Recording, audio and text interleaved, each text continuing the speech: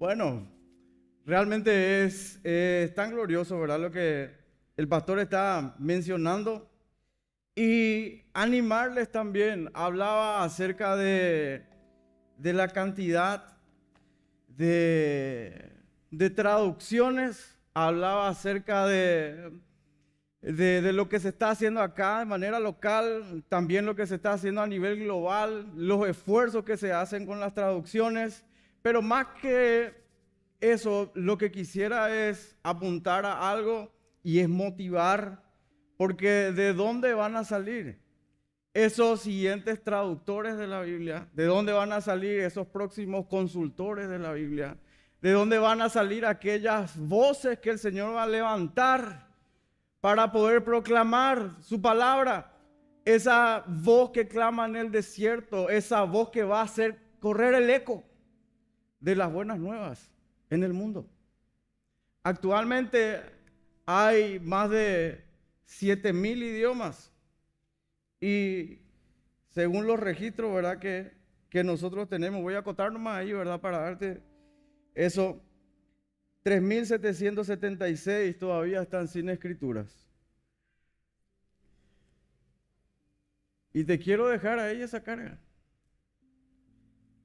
de manera local también, ¿verdad? Y acá con Josema, que está trabajando fuertemente con la organización de manera local. Pero a nivel global, todavía hay mucho que hacer. Y todavía la palabra de Dios necesita ser esparcida, necesita ser distribuida, necesita llegar a cada rincón de este globo. Solamente eso quería acotar un poquito. Y bueno, estoy feliz una vez más. Eh, para los que no me conocen, yo soy acá con mi esposa, somos pastores en la iglesia Mariano Roca Alonso y eh, también le vimos ahí a algunos de nuestros hermanos de la iglesia de Mariano y qué gusto verles, qué gusto verles. Yo quisiera orar y nos adentramos en la palabra de Dios.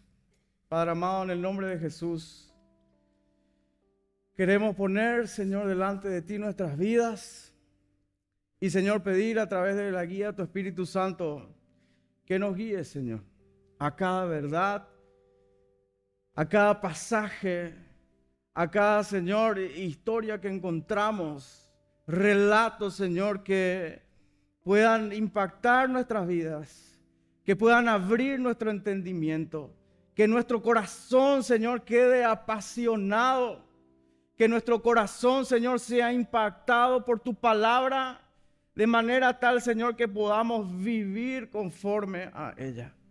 Y así, Señor, como un día en medio de tanta oscuridad, levantaste estas voces para proclamar y decir, volvamos a la palabra. Nosotros podamos, podamos ser, Señor, esa generación que se levante y que diga, volvamos, volvamos a la fuente. La palabra es suficiente para todo. En el nombre de Jesús, amén y amén. Hebreos capítulo 1, de el 1, versículo 1 al 3, dice así, hace mucho, mucho tiempo, los profetas comunicaron el mensaje de Dios a nuestros antepasados lo hicieron muchas veces y de muchas maneras. Qué interesante, ¿verdad? Mucho, mucho, muchas. Pero ahora, en estos últimos tiempos, Dios nos lo ha comunicado por medio de su Hijo. Porque por medio de Él, Dios creó el universo y lo hizo dueño de todas las cosas el Hijo de Dios nos muestra el poder y la grandeza de su Padre. El Hijo de Dios es igual que todo a su Padre y con su gran poder hace que el universo siga existiendo. El Hijo de Dios logró que Dios nos perdonara nuestros pecados y después subió al cielo para sentarse a la derecha del trono de su Padre. Qué gloriosa palabra. Desde el Génesis, conversábamos en estos días con el pastor, ¿verdad? Como siempre Dios, después de la caída del hombre, siempre estuvo ahí, acercándose, tomando la iniciativa, llamando al ser humano al arrepentimiento, llamándolo, diciendo, vuelvan. A través de que, de muchas formas, de muchas maneras, como dice acá el pasaje, el, el mensaje de Dios fue comunicado. En el Génesis vemos que el hombre se alejó de la fuente. Luego Dios llama a Abraham, comienza ese linaje, se extiende hasta Éxodo, conocemos la historia y vamos avanzando. Dios llama a Moisés libera a su pueblo de esclavitud, le da el mandamiento, la ley y la forma en que debe ser adorado. Qué hermoso hay en Deuteronomio cuando habla acerca de esa adoración y cómo Él debe ser adorado. Luego, cuando sale el pueblo, en medio de eso se manifiesta lo que hay en el corazón. En medio del desierto, el pueblo otra vez vuelve a alejarse. Hay un siguiente llamado. Y otra vez, y una y otra vez, el Señor haciendo pasar eh, en su divina gracia, misericordia, ¿verdad? Los pecados, ese diálogo impresionante de Moisés intercediendo. Vuelvan, vuelvan. Luego al entrar a la tierra prometida, el corazón se llena de grosura. Y Josué los llama a volver a la fuente. Quitad ahora, pues, los dioses ajenos que están entre vosotros, e inclinad vuestro corazón a Jehová, Dios de Israel. Sin embargo, se levantó una generación que no conoció a Jehová, ni la obra que él había hecho. El libro de jueces se escribió para mostrar las consecuencias de la apostasía religiosa y señalar el camino hacia un rey que de ser justo guiaría al pueblo de Dios. Luego se da el origen de la monarquía en Israel, donde el primer rey es desechado y surge uno conforme al corazón de Dios. Y miramos a través de la palabra y decimos, ese era conforme al corazón. a mí me da mucha esperanza. Ver a David ahí, ver su arrepentimiento, vuelve otra vez a la fuente inagotable. Encontramos pasajes donde dice, estoy clamando como aquel siervo que clama en el desierto. Necesito desaciarme Necesito saciar esa sed que tengo de ti. Me estoy muriendo. Si nos vamos a hacer pasajes tan bellos, hermanos. Dios promete a David y su familia que tendrán una dinastía eterna. El pacto davídico dio lugar a que Mateo pusiera a David en el centro de la genealogía del plan divino de salvación. Pero continuemos. Luego vinieron los sucesores del rey David. ¿Y qué encontramos? Rebelión, división y una lista de reyes divididos y con características que uno era malo, el otro era bueno, el otro era tenía cosas buenas y cosas malas. Y este hizo conforme a su antepasado David, a su padre David pero encontramos otros que eran totalmente alejados, donde la fuente inagotable, donde la ley marcaba el camino, y se habían alejado completamente, dejando a oscuras también al pueblo. La adoración.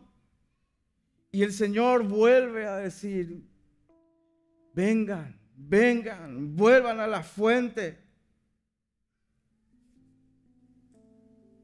encontramos que la rebelión a la ley de Dios tuvo sus consecuencias.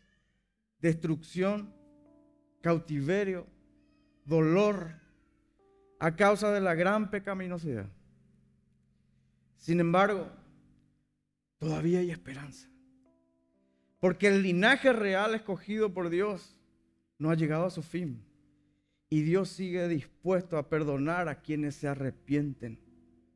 El eco de la voz de Dios siguió resonando. Vuelve, vuelve, vuelve. Y de ahí quiero saltar a Reyes. Segunda de Reyes, capítulo 22. Vayamos a la palabra de Dios.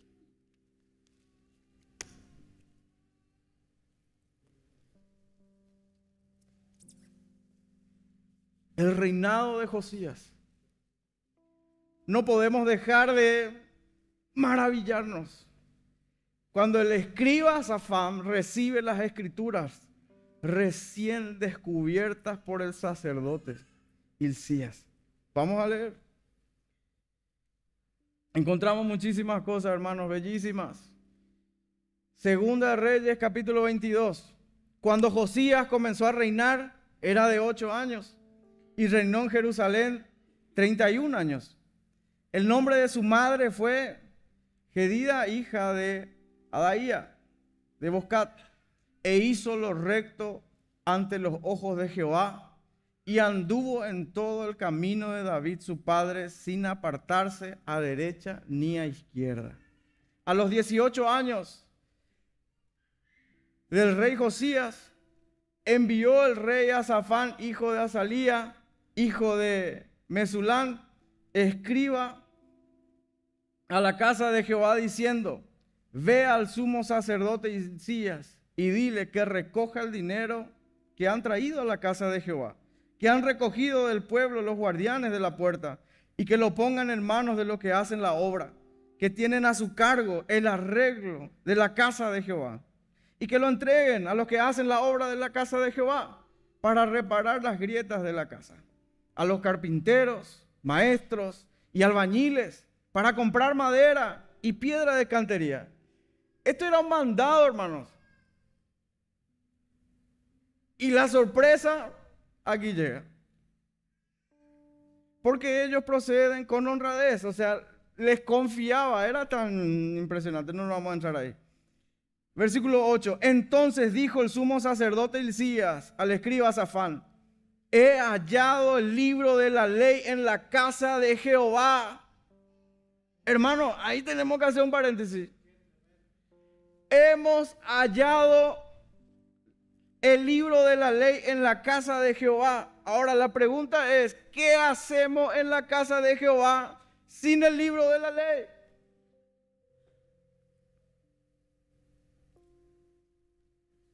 Lo que el pastor estaba diciendo hace rato. ¿Quién rige? ¿Cómo diferenciar la verdad de una mentira? ¿Cómo, ¿Cuál es el parámetro?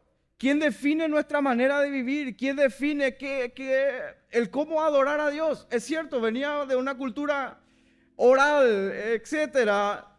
Pero hermano, esto tenía que estar en el centro.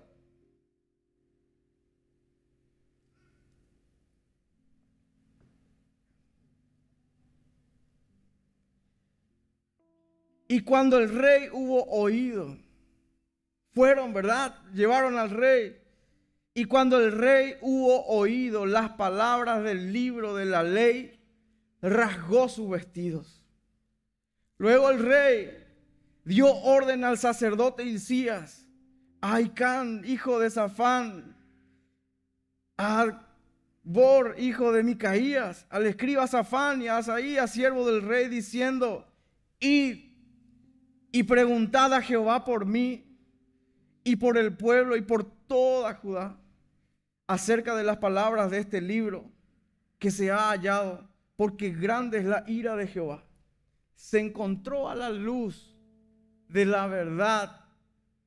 Vio la situación no solamente de él, sino del pueblo. En qué condiciones estaban. Y le agarró temor terror, podemos decir.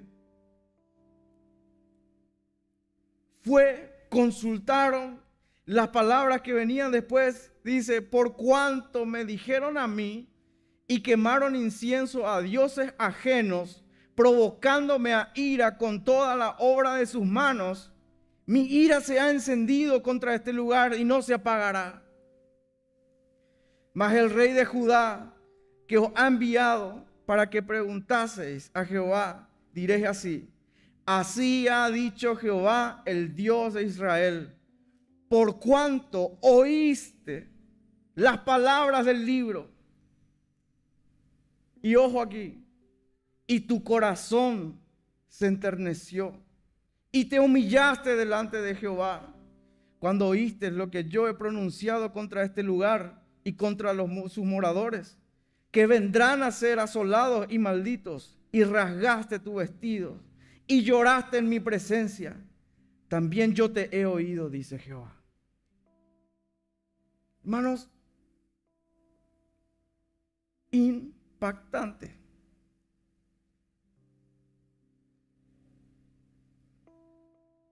Puedes preguntarte, ¿y por qué esperó tanto para llegar a eso? Pasaron, transcurrieron años, pero no le culpemos ahí a, a nuestro hermano que vamos a encontrarle algún día y le vamos a preguntar cara a cara. Viviendo bajo el reinado de un tirano o en tremenda oscuridad bajo adoración a dioses ajenos y tantas cosas que podemos ir mencionando. Pero no se quedó ahí con ese veredicto, porque podía quedarse y decir, ya está, zafamos. No, cuando hay un verdadero arrepentimiento, cuando la palabra de Dios es expuesta a nuestros corazones, entendida de una manera tal en que puede producir ese fruto de arrepentimiento, esa tristeza que es para salvación, hace que el corazón arda y consuma. Entonces, ¿qué hizo? El rey mandó reunir con él a todos los ancianos de Judá y de Jerusalén.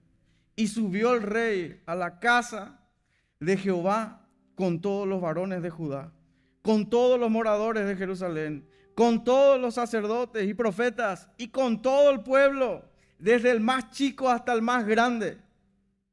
Y otra vez, y leyó, oyéndolo ellos, todas las palabras del libro del pacto que había sido hallado en la casa de Jehová. Y poniéndose el rey en pie a la columna, hizo pacto delante de Jehová, de que irían en pos de Jehová y guardarían sus mandamientos, sus testimonios y sus estatutos con todo el corazón y con toda el alma. Es impresionante, hermanos. Luego de leerlas, va con el rey Josías y se las lee en voz alta. Esa lectura pública la exposición de la palabra propició este gran avivamiento reformador. Llevó a un verdadero arrepentimiento. El rey se rajó, se entristeció. No puede ser.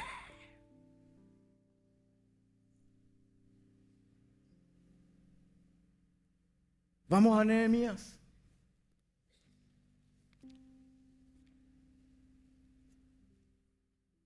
Y no es que ella gusta las mías, pero...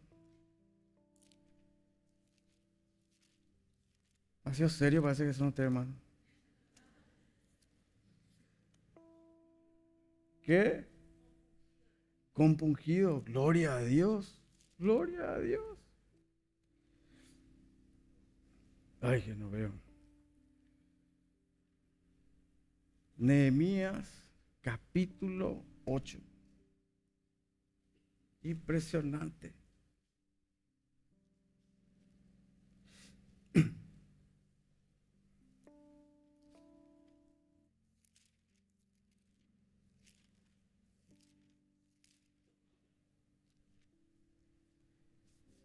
Esdras ya en otro tiempo, lee la ley al pueblo, dice el enunciado. Otro grandioso momento, ¿verdad? Cuando Esdras leyó una vez más las escrituras al pueblo de Dios en Jerusalén, luego del retorno del exilio. Y a lo que voy es a la exposición de la palabra. Cuando la palabra es hallada, cuando volvemos a la fuente y esta es expuesta, produce esto. Y se juntó todo el pueblo como un solo hombre en la plaza que está delante de la puerta de las aguas. Y dijeron a Esdras, el escriba, que trajese el libro de la ley de Moisés. Y leyó en el libro, delante de la plaza que está delante de la puerta de las aguas, desde el alba hasta el mediodía. Y a veces nos quejamos que es medio largo el culto, ¿verdad? desde el alba hasta el mediodía, en presencia de hombres y mujeres y de todos los que podían entender. Y los oídos de todo el pueblo estaban atentos al libro de la ley. Y el escriba Esdras estaba sobre un púlpito de madera que habían hecho para ello. Y junto a él estaban Matatías y todos ahí con sus tías. Abrió pues Esdras el libro a ojos de todo el pueblo, porque estaba más alto que todo el pueblo. Y cuando lo abrió, todo el pueblo estuvo atento. Bendijo entonces Esdras a Jehová, Dios grande, y todo el pueblo respondió, amén, amén, alzando sus manos. ¿Y qué pasó? Y se humillaron y adoraron a Jehová, inclinados en tierra. Y los levitas hacían entender al pueblo la ley y el pueblo estaba atento en su lugar. Y leían en el libro de la ley de Dios claramente y ponían el sentido de modo que entendiesen la escritura. Nehemías el gobernador y el sacerdote Esdras, escriba, y los levitas que hacían entender al pueblo, dijeron a todo el pueblo, Día santo es a Jehová, nuestro Dios. No os entristezcáis, ni lloréis, porque todo el pueblo lloraba oyendo las palabras de la ley. Luego les dijo, id, comed grosura y bebed vino dulce y enviad porciones a los que no tienen nada preparado, porque día santo es nuestro Señor. No os entristezcáis, porque el gozo de Jehová es vuestra fuerza, fortaleza. Lo que produce la palabra, hermanos. Y todo el pueblo se fue a comer y a beber. ¿Qué produjo la exposición de su palabra? El que haya gente, el que haya levita, el que diga, no está entendiendo, mira, te ayudo. Esto es lo que quiere decir. Porque la palabra revelada está ahí. Y los que no entendían y iban ni unos a otros, ¿entiendes lo que lees? Me resuena el Nuevo Testamento, ¿verdad? ¿Entiendes lo que lees? ¿Dónde están? Acá están esa generación. Acá están los valientes que van a ir y van a preguntar, ¿entiendes lo que lees? Te ayudo. Abramos juntos las escrituras, expongámonos a ella, es el espejo que nos muestra nuestra condición. Es la palabra de Dios la que trae luz a nuestro entendimiento. Es la palabra de Dios la que trae vida a nuestro espíritu. Su palabra es espíritu y vida. ¿Qué causó esto? Grande alegría. Porque habían entendido las palabras que le habían enseñado. no se asemeja a tiempos de oscuridad y lo que pasó en la reforma.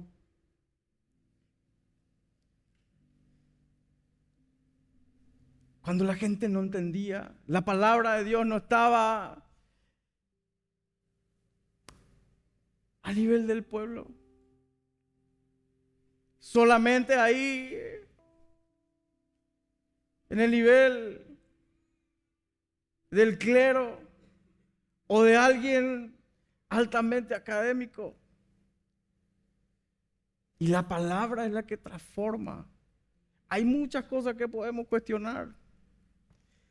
Pero lo importante es que Dios levantó esas voces, esos precursores, como decía el pastor, y mencionaba uno. Pero antes ya hubieron otros que al adentrarse a la palabra de Dios encontraron esa verdad y no pudieron callar porque ardía en ellos y no le importaba que sus cuerpos ardan.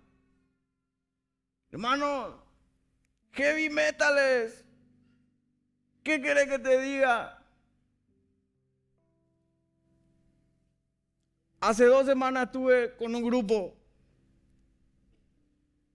Estuvimos trabajando, sirviendo. Y solamente éramos dos de América. El resto era Medio Oriente y otros de Asia. Y contaban sus experiencias. ¿Y cómo entregamos la palabra? ¿Cómo hacemos interacción con la palabra? ¿Cómo, cómo logramos esto? ¿Cómo hacemos aquello y esto y lo otro? Donde el porcentaje de cristiandad es así.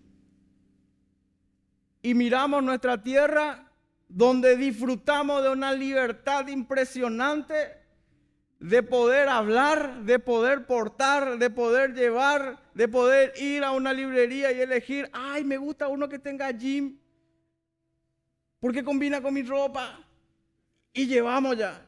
Después, tenemos en el celular, tenemos en audio, tenemos, mi hermano, no tenemos excusa. Eso es lo preocupante. A mí me preocupa eso. Porque ¿quién tiene más condenación?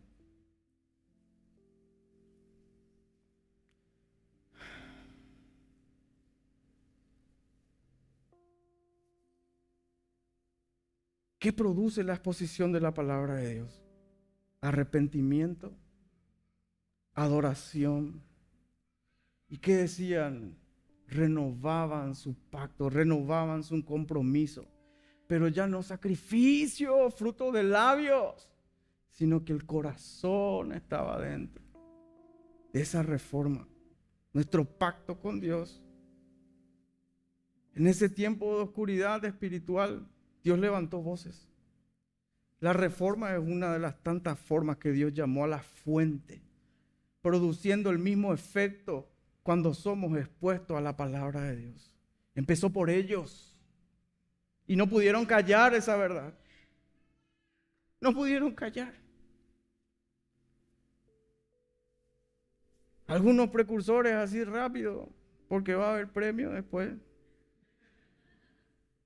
Pedro Baldo, en 1170, Baldo era un mercader muy rico, conocido en la ciudad de León, Francia tenía esposa, hijos, pero fue impactado por la palabra.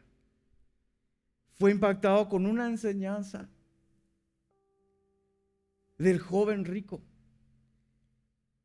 Tanto fue el impacto que Baldo tomó acción, le dio todo lo que tenía a los pobres y desde entonces determinó vivir en completa dependencia de Dios. Comenzó a predicar con su Biblia en las calles, especialmente a los pobres. Este fue un crack porque no tengo la Biblia, no entiendo, pero mira un poco allá, hay dos que pueden traducir. Venga. Comenzó a predicar después de la muerte de Pedro Baldo. El movimiento valdense continuó creciendo. Pedro Baldo fue un protestante, aunque no lo sabía. Fue un mercader convertido, un profeta en profeta, quien simplemente creyó la palabra de Dios con todo su corazón y lo vivió. John Wycliffe nació en Inglaterra en una granja de ovejas a 200 millas de Londres. Ingresó a la Universidad de Oxford en 1346. Pocos años después ya era considerado el principal filósofo y teólogo de la institución. Mientras tanto, Roma había exigido apoyo financiero de Inglaterra y él aconsejó que no se le diera apoyo a la iglesia. Argumentó que la iglesia ya era demasiado rica y que Cristo llamó a sus discípulos a la pobreza, no a la riqueza. Sus opiniones causaron problemas y lo obligaron a responder por cargos de herejía. Sin embargo, siguió estudiando las escrituras y escribió más acerca de sus conflictos con la enseñanza oficial de la iglesia. ¿Y qué hizo? Empezó a traducir la Biblia al inglés. La palabra necesita correr. La palabra necesita ser extendida. Tiene que llegar a las personas. La palabra tiene que estar en el corazón de la gente. Murió en 1384 antes de que la traducción se completara y antes de que las autoridades pudieran condenarlo por herejía. John Hus, 1369. Nació en el reinado de Bohemia, en el reino de Bohemia. Nacido en una familia pobre, entró en el sacerdocio, buscando prestigio y una mejor vida. Llegó a ser un reconocido predicador, pero pasó mucho de su tiempo sirviendo en la academia como decano de la Facultad de Filosofía de Praga. Pronto empezó a predicar sermones fuertes, violentos, en contra de la iniquidad del clero, lo que lo llevó a ser reportado al obispo. Su entendimiento de la palabra, de la autoridad final de las escrituras, fue encendido en la medida que él leía las obras de su antecesor y su alianza con esas enseñanzas llevaron a su excomulgación y ser juzgado como hereje, a ser condenado a la hoguera. Y luego, Sabonarola, qué bueno que me salió bien. Nació en una familia adinerada en Italia a los 23 años. Tomó la decisión de unirse a la orden dominicana. Otra persona que fue impactada con la palabra hacia la cúspide de estos cambios. Organizó a los jóvenes de Florencia para modelar e incitar una reforma, haciendo varias hogueras de vanidades en las que se quemaban objetos que se consideraban pecaminosos. También fue excomulgado, juzgado y quemado en la hoguera. Luego encontramos a Lutero. Y quise traer este libro porque también es fruto de que hoy podamos tener la palabra de Dios, que podamos explicar a nuestros hijos, ser intencionales, lo que decía el pastor Fede en su introducción, el sistema del mundo es intencional, seamos intencionales. Una vez estábamos almorzando con mi esposa y eran unos días previos, no, después de la marcha de padres, etc. Y reflexionábamos acerca de de qué sirve ir a una protesta, levantar una bandera, si no tomamos la decisión de nuestra casa hacer algo. Otra vez no estamos haciendo nada. Y la verdad me sentía confrontado también, porque somos padres. hay una generación que viene tras nosotros y ellos van a tener también los suyos.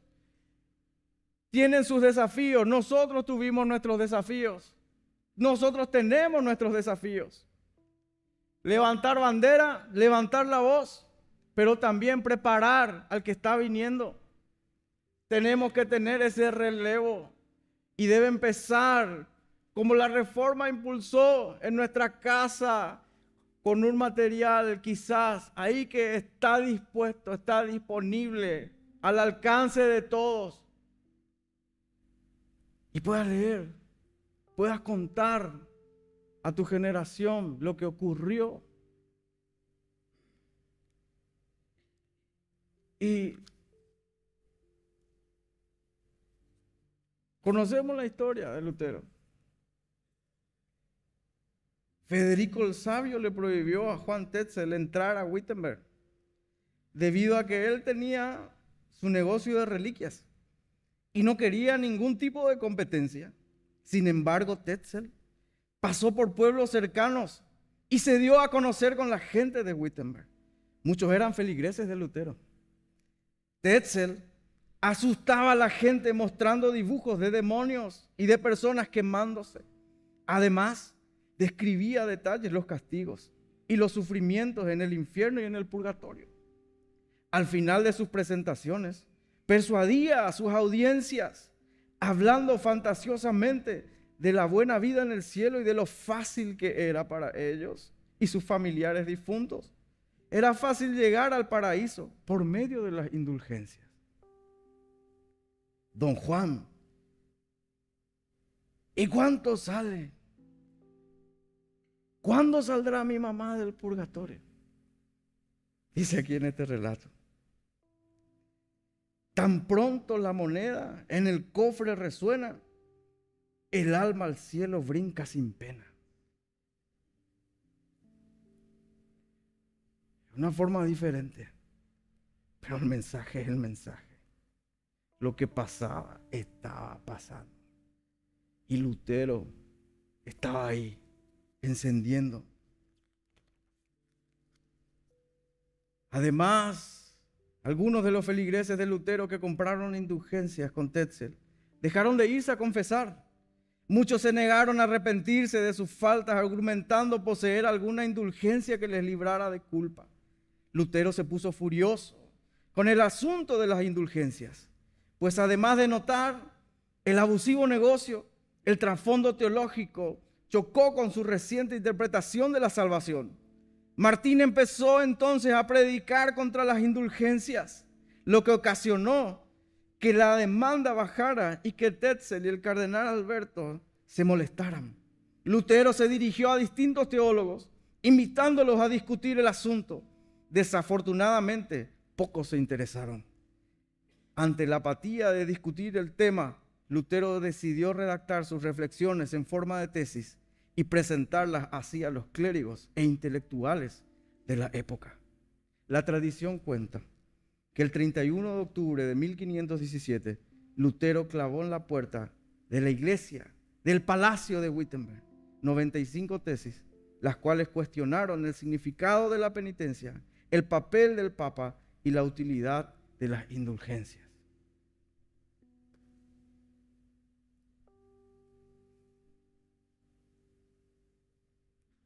Isaías 8:20 dice, tal vez alguien les diga, preguntemos a los mediums y a los que consultan a los espíritus de los muertos. Con sus susurros y balbuceos nos dirán, ¿qué debemos hacer? Pero, ¿acaso no deberá el pueblo pedirle a Dios que lo guíe? ¿Deberían los vivos buscar orientación de los muertos?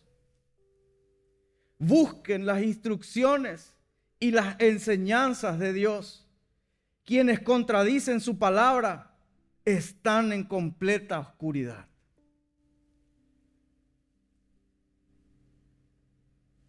Isaías.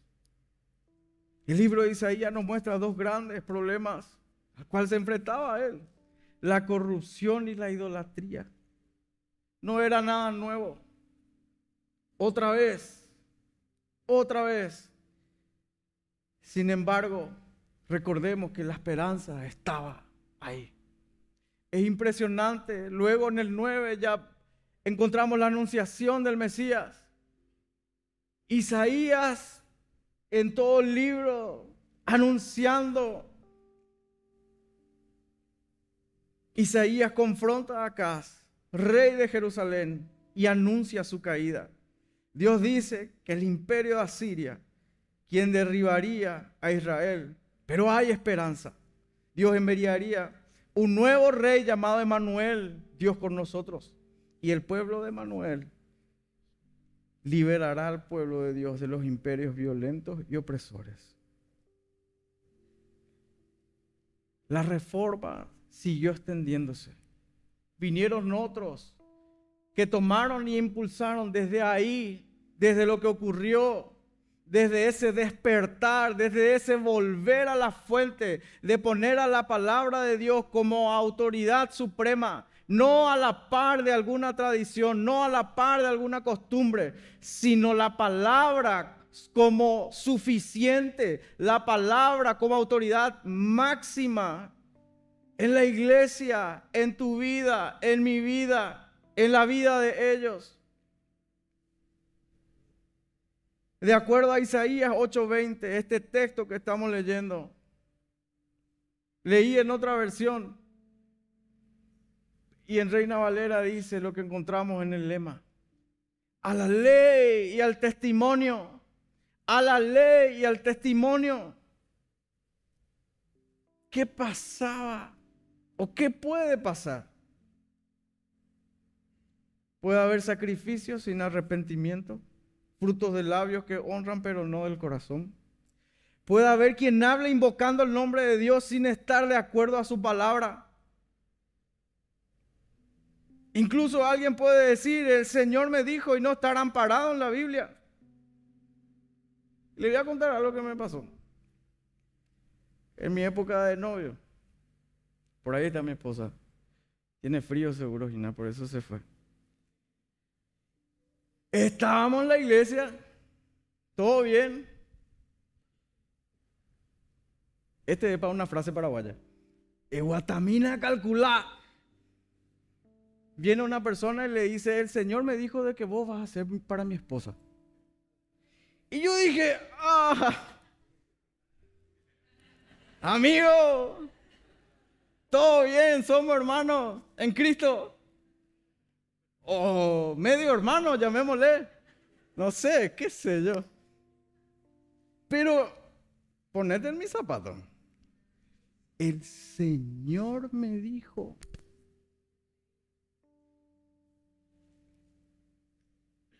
Faltaba como 8 o 10 meses para que yo me case. ¿Qué iba a hacer? ¿Le iba a dejar?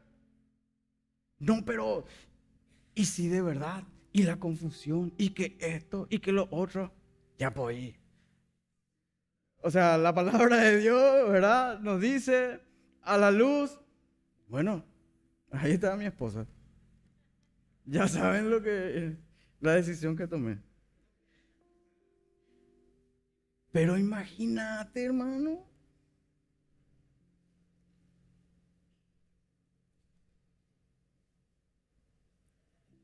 El punto es que cuando escuchamos a alguien hablar y lo que nos dice, lo que nos dice no es conforme a esta palabra, la ley para esta persona no hay amanecer. Y el texto es clarito en la versión que leí, hay oscuridad. La palabra de Dios alumbra. Salmo 119, 130. Por la hora voy a tener que ir. La suma de tu palabra es verdad. Salmo 119, 160. La palabra de Dios es la luz. Alumbra. La exposición de tu palabra alumbra, hace entender a los ingenuos. La enseñanza de tus palabras ilumina y hasta la gente sencilla las entiende. Si no exponemos la palabra, o si lo que decimos no tiene esa luz, nosotros no portamos esa luz. ¿Qué hay en nuestro corazón si no tenemos la luz de Cristo? si no tenemos la luz de la verdad? ¿Desde dónde hablamos? O sea, la ley de Jehová es perfecta, Salmos 19. Convierte el alma. El testimonio de Jehová es fiel, que hace sabio al sencillo. Salmo 19, verso 8. El precepto de Jehová es puro, que alumbra los ojos. La, lámpara es a mis pies tu palabra y lumbrera mi camino. En Juan 8:12 Jesús dijo, yo soy la luz del mundo. En el antepasado les hablé de muchas, muchas maneras. Pero ahora, decía el texto al iniciar, Jesús dijo, yo soy la luz del mundo. Y cuando fue anunciado esto hermoso, me encanta cuando vamos llegando a diciembre. Porque vemos las luces por todos lados. Me encanta ver las luces. Hasta cuando le digo a mi esposa, esta estación de servicio le falta luz. ¿Verdad? Cuando he anunciado, dice, el pueblo que andaba en oscuridad vio una gran luz. Isaías 9.2. El pueblo que andaba en oscuridad vio una gran luz. ¿Qué son ustedes? ¿Qué somos nosotros? luminares, portadores de la luz de Cristo. Tenemos que levantar la luz, dice, ¿verdad? ¿Dónde? Arriba, para que se vea. No es una luz propia, es la luz de Cristo a través nuestro, a través de tu vida.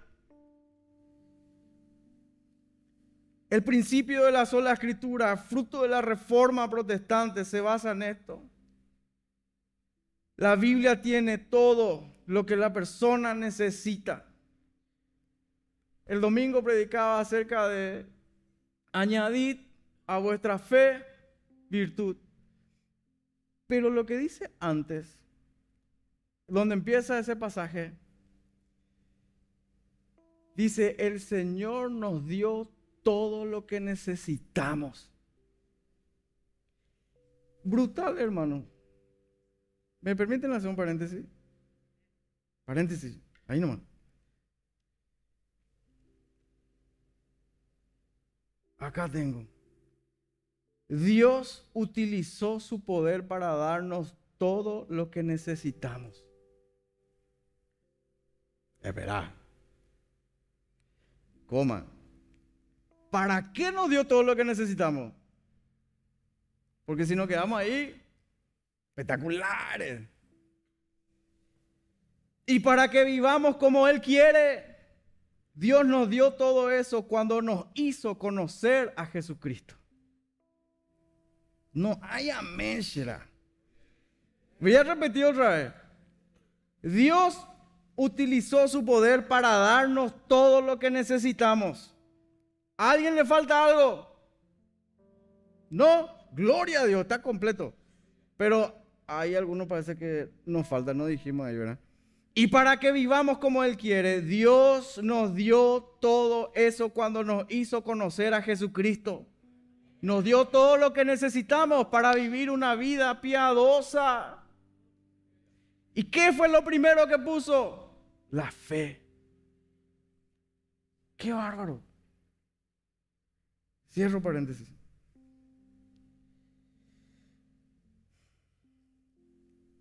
Vamos a terminar, hermano, no se preocupen. La Biblia tiene todo lo que necesitamos. Segunda de Pedro 1, 20 a 21 dice, pero antes que nada deben saber que ninguna enseñanza de la Biblia se puede explicar como uno quisiera. Ningún profeta habló por su propia cuenta. Al contrario, todos ellos hablaron de parte de Dios y fueron guiados por el Espíritu Santo. Primera de Timoteo 3:15 dice, para que si me tardo, sepas cómo conducirte en la casa de Dios, que es la iglesia del Dios viviente, columna y baluarte de la verdad. Indiscutiblemente, el misterio de la piedad es grande. Dios fue manifestado en carne, justificado en el Espíritu, visto de los ángeles, predicado a las naciones, creído en el mundo, recibido arriba en gloria. Amén, aleluya. Gloria a Dios. La palabra de Dios es lo único que puede transformar al hombre. La escritura, la Biblia en el centro. Cuando la palabra de Dios está en el centro de la vida, transforma. Es ahí cuando a través de la renovación de nuestra mente se traduce en una nueva forma de ver a Dios, de interpretar la vida y vivir conforme a la ley y el testimonio. Vivir solideo gloria. Es lo que produjo la reforma. Transformó la sociedad. Dio una nueva cosmovisión. Y eso impactó los estamentos de una sociedad que llegó a extenderse por todo el mundo. Leí el pastor hace rato algo. Voy a leer algo aquí. No es que hago propaganda, hermano, pero entiendan también esa parte. Es imposible entender la historia moderna aparte de la reforma protestante. No podemos entender la historia de Europa, Inglaterra o Estados Unidos sin estudiar la reforma. Por ejemplo, en Estados Unidos nunca había habido padres peregrinos si no hubiera habido una reforma protestante, ni, habían, ni habrían existido universidades como Harvard, Princeton y Yale, surgidas a partir de los esfuerzos de las iglesias presbiterianas.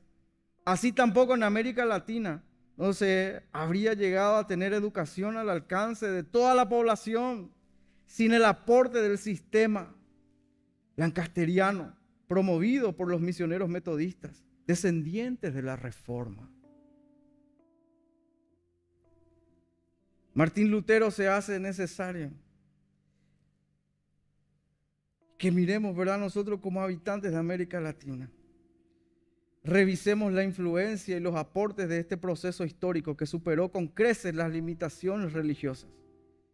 Muchas de las instituciones y roles sociales vigentes en nuestras sociedades occidentales recibieron de la reforma un impulso renovador y transformador que las ha marcado en forma definitiva.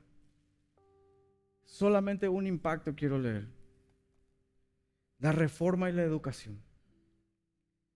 La Biblia señala que cuando Moisés se despidió de Josué, su sucesor le dijo, procura que nunca se aparte de tus labios este libro de la ley. Medita en él de día y de noche para que actúes de acuerdo con todo lo que está escrito en él. Así harás que prospere tu camino y todo te saldrá bien.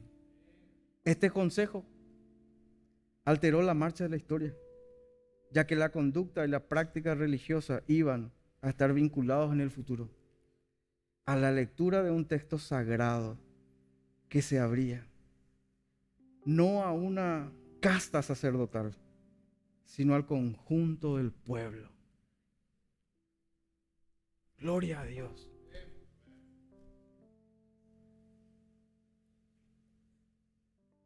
Les cuento algo personal. El año pasado tuvimos un lema, ¿verdad?, por el mes de la Biblia. Y recorrimos, ¿verdad?, varias ciudades, iglesias.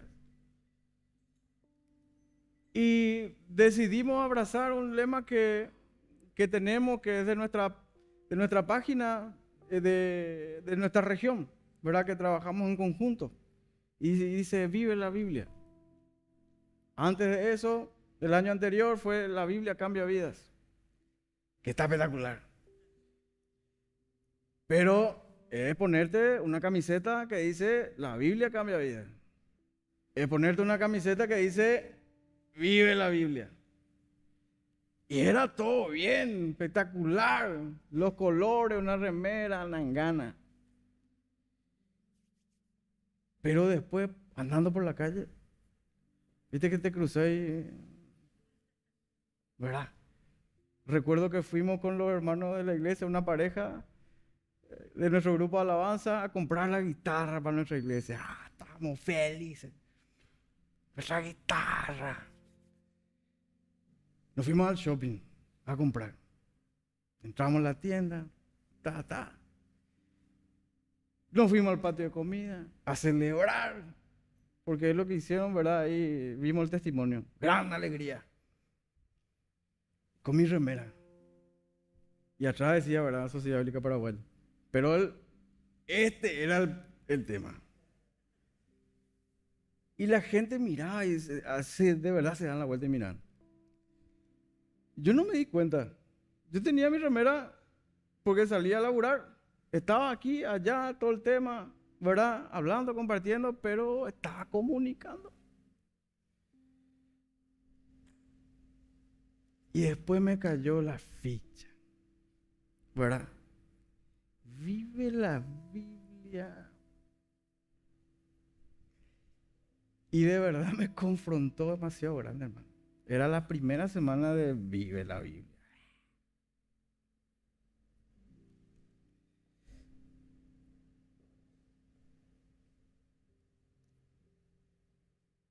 La pregunta es, ¿qué fue para mí? Y le comparto a ustedes. ¿Está la Biblia en el centro de mi vida, de tu vida?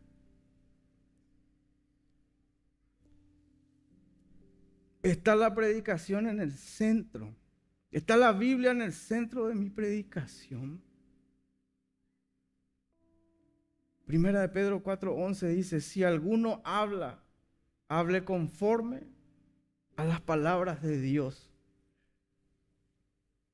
¿Está la Biblia en el centro de mi matrimonio? ¿Está la Biblia en el centro de la enseñanza para mis hijos? En un material que lanzó la Sociedad Bíblica Argentina el mes pasado, tomé esto y quiero compartirlo. Nuestro hogar es el primer lugar donde debemos buscar a vivir a diario lo que escuchamos los domingos en la iglesia. Es el lugar principal donde nos recordamos la palabra de Dios y nos alentamos a la fe como familia. También es donde sembramos semillas de la palabra en el corazón de nuestros hijos, con la esperanza de que Dios produzca frutos en ellos y sean parte de una generación que glorifique a Dios y alumbre en la sociedad. Es el mayor lugar de influencia verdadera que cada creyente tiene, tanto en su cónyuge como en su descendencia. Si estamos casados o con hijos, nuestro hogar es el lugar donde más influencers tenemos que ser para la eternidad. Así como la madre y la abuela de Timoteo tienen en la historia de la iglesia y del mundo un impacto mayor del que pudieran imaginar debido a que enseñaron la escritura a Timoteo. Está la, Biblia en el centro de la enseñanza para nuestros hijos. Matthew Henry hace este comentario, ¿verdad?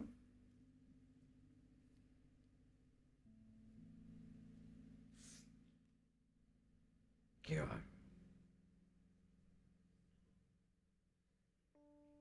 el hogar.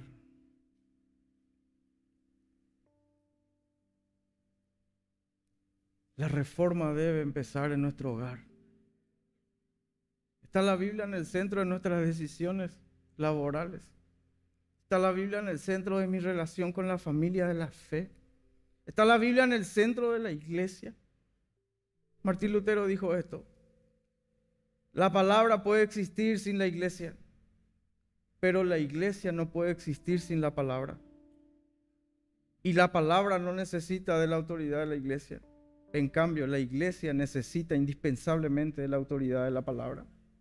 La palabra de Dios es objetiva, fija y no depende de los seres humanos. Por tanto, no cambia. Ninguna jerarquía eclesiástica, ningún profeta iluminado puede reemplazarla o modificarla. ¿Cuántos trajeron sus Biblias? Levanten su Biblia.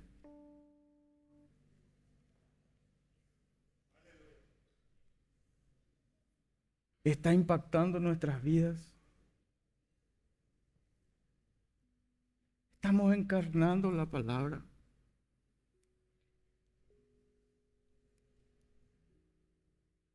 Mi respuesta fue ahí, ahí, ahí, ahí. Y le abro mi corazón.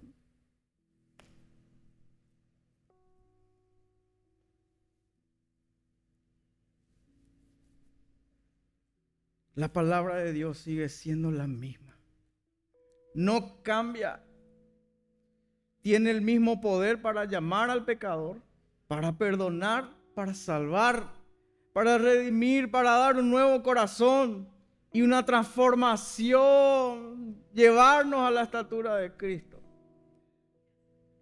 Con la cantidad de Biblias distribuidas a nivel mundial. Saquemos eso local. ¿Cuántas Biblias por persona tenemos?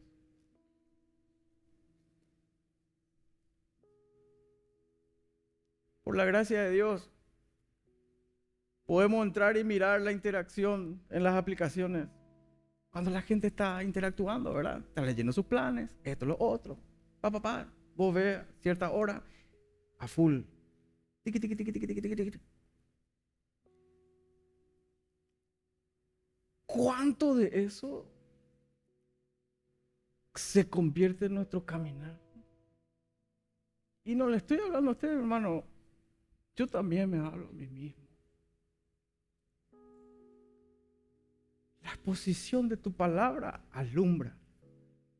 La suma de tu palabra es verdad. La palabra de Dios transforma. ¿Qué estamos modelando? Necesitamos volver a la fuente.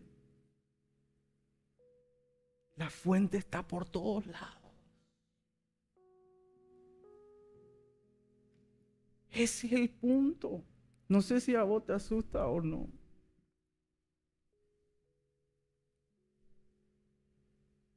No hay excusa. Pero ¿cuántas veces hacemos acá, hacemos allá? Opacamos.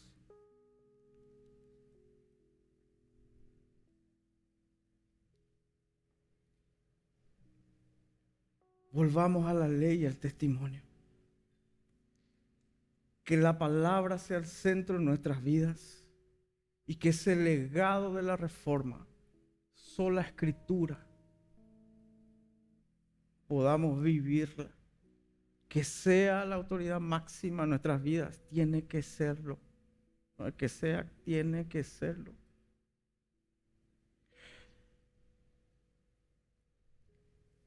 Y si hay que correr y responder de esa manera, como vimos ahí en Esdras y Nehemías, o cuando fue leído el rollo y Noé a otro rollo,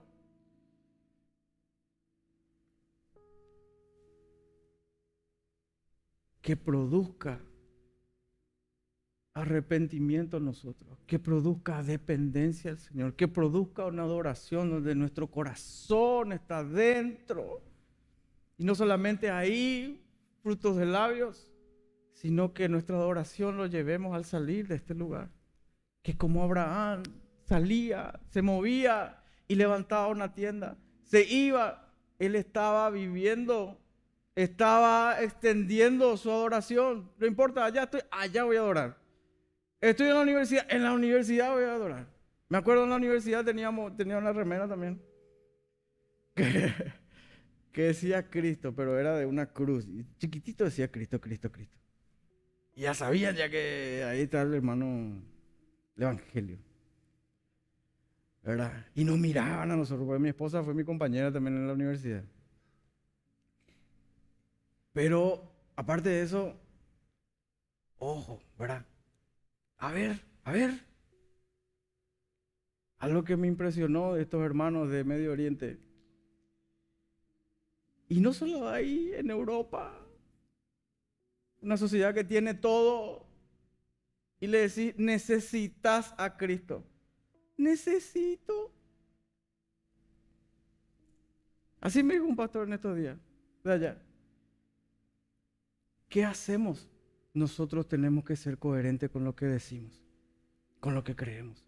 Esa es la manera en donde se ve nuestro cristianismo. La gente mira, ve. Ah, la Biblia, sí. La Biblia está siendo vista a través de nuestras vidas. No una vida perfecta, hermanos, pero una vida, una persona que sabe acudir a la cruz para pedir arrepentimiento, para pedir nuevas fuerzas, para ser ahí acercándose confiadamente todos los días, alcanzar el oportuno socorro y cuando no tenemos que decir, clavar ahí rodillas o decir, Señor, estoy en tu presencia. Tu palabra dice que va a clamar el Espíritu que está dentro mío, pero estoy acá. Me vuelvo dependiente. Perfecto es Cristo. A Él debemos mirar. Puesto los ojos en Jesús. Me encanta esta versión. El iniciador y perfeccionador de nuestra fe iniciador y perfeccionador de nuestra fe.